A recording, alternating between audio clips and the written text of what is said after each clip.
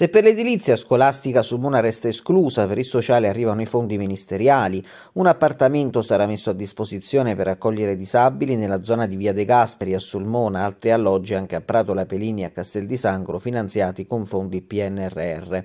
Il progetto a vantaggio di persone con disabilità è stato ammesso a finanziamento PNRR per la somma di 715.000 euro in partenariato tra l'ambito sociale di Sulmona, che comprende anche Prato La Pelini e l'ambito sociale di Castel di Sangro, il famoso ECAD. Il Comune di Sulmona si è aggiudicato altri due importanti progetti, il primo a favore del sostegno delle capacità genitoriali, la prevenzione della vulnerabilità delle famiglie e dei bambini, così da offrire strumenti adeguati a salvaguardia delle famiglie con particolari disagi, il secondo invece a favore del rafforzamento dei servizi sociali e la prevenzione del fenomeno del burnout tra gli operatori sociali per prevenire sindrome da stress di lavoro per quanti operano in campo sociale. I due progetti godranno di un finanziamento complessivo di 420.000 euro. I tre progetti insieme fruttano quindi oltre un milione di euro.